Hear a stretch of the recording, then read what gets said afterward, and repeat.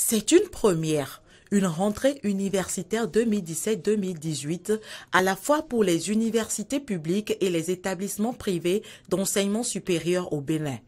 Lancée officiellement par la ministre Marie-Odile Atanasso, cette cérémonie solennelle a été l'occasion pour cette dernière de faire le bilan des acquis sous le régime du président Talon et d'annoncer les réformes en vue pour un système éducatif universitaire plus performant et modernisé. Je vous annonce ici la création prochaine dans nos différentes régions de notre pays de nouveaux instituts universitaires d'enseignement professionnel, IUEP, qui vont donner une chance de développement accéléré avec la possibilité de juguler le mal qu'est le chômage. Nous allons consolider l'orientation des bacheliers. Désormais, la priorité sera donnée aux meilleurs.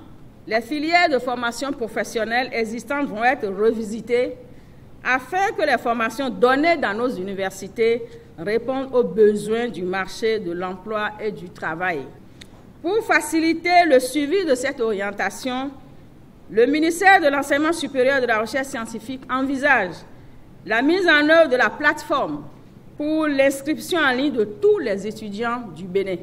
Il sera nécessaire d'informer les parents d'élèves, parents d'étudiants et d'étudiantes qu'à partir de la rentrée 2017-2018, et pour donner un peu plus de moyens aux universités, le Bénin rentrera dans la phase de la suppression de la gratuité et d'application des frais d'inscription fixés dans l'espace UMOA, à savoir 25 000 pour le premier cycle, 50 000 pour le second cycle et 75 000 pour le troisième cycle. Des réformes qui viendront renforcer les acquis obtenus grâce au réaménagement effectué depuis deux ans dans l'enseignement supérieur public et privé au Bénin. Nous sommes heureux d'avoir une année académique normalisée dans toutes nos universités au Bénin.